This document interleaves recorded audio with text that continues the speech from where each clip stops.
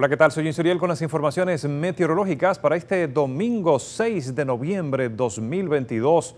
Este fin de semana ha transcurrido lluvioso en muchas localidades del territorio dominicano por la combinación de una onda tropical y de una vaguada, así también los vientos húmedos del Atlántico arrastrando toda esa nubosidad hasta nuestra zona de pronóstico e incrementando el potencial de precipitaciones. Para hoy seguiremos también con las posibilidades de precipitaciones en gran parte del territorio nacional. La onda tropical se ha alejado hacia el oeste, pero dejará remanentes nubosos en nuestro país suficientes para aportar lluvias a partir de esta tarde. También la vaguada permanecerá al norte de la región del Caribe, incidiendo en República Dominicana. Será después del mediodía que aumente la nubosidad. Ahora en el transcurso de la mañana se espera un firmamento parcialmente nublado en gran parte del territorio dominicano, despejado para muchas localidades. Cerca del mediodía tendremos en las condiciones meteorológicas del territorio nacional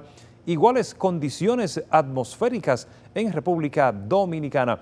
Esto todavía porque la nubosidad y la humedad no, habrá, no se habrá activado en nuestra región. Pero después del mediodía, las condiciones del tiempo estarán presentando en el territorio dominicano un incremento de posibles precipitaciones hacia el noreste del país, también la región del Cibao, la cordillera central, algunas localidades del sur y algunas localidades de la zona fronteriza. Al final de la tarde, el panorama meteorológico estará presentando precipitaciones en gran parte del territorio nacional, pero concentradas principalmente hacia la zona norte, la cordillera central, también hacia el noreste. Algunas localidades del sureste, incluyendo la capital dominicana, podrían experimentar algunas lluvias dispersas. Hacia el noroeste y zona fronteriza podrían desarrollarse algunas lluvias también hacia el suroeste del país y hacia la cordillera central. Y para la noche, el panorama meteorológico podría tornarse más lluvioso todavía hacia la región del Cibao, también hacia el noreste, la zona montañosa de la cordillera central, algunas localidades del sur, del suroeste, también hacia el noroeste. Esto por los efectos de la vaguada que estará en combinación con los remanentes de la onda tropical que ya se han alejado del territorio dominicano. Vamos a ver mañana cómo estará comenzando la semana laboral. El firmamento parcialmente nublado, una reducción de las precipitaciones se espera para este lunes en el territorio dominicano.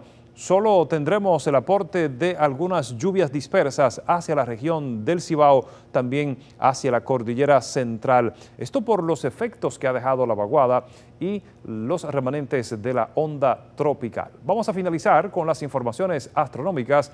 El sol con su salida para hoy a las 6 y 42 de la mañana se pondrá a las 6 y 5 de la tarde. Tendremos 11 horas con 23 minutos de luz solar.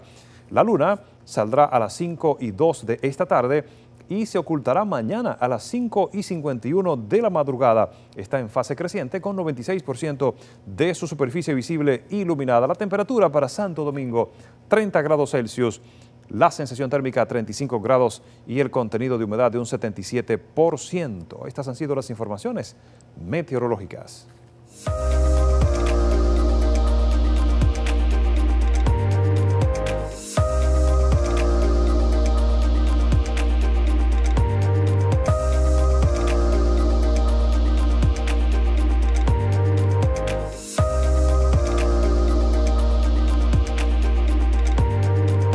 Cada historia tiene un principio, pero el nuestro continúa escribiéndose.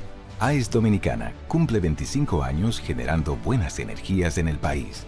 Y cada año lo hemos celebrado innovando junto a nuestros clientes, creando alianzas que buscan la transición estratégica hacia nuevas soluciones inteligentes y sostenibles. Nuestro alcance global nos ha permitido impulsar el bienestar de las comunidades dominicanas, al igual que el desarrollo de la economía naranja del país. Y aunque nos sentimos orgullosos de nuestro presente, nos emociona el futuro que juntos vamos a generar. Continuemos escribiendo esta historia. AES Dominicana, acelerando el futuro de la energía juntos.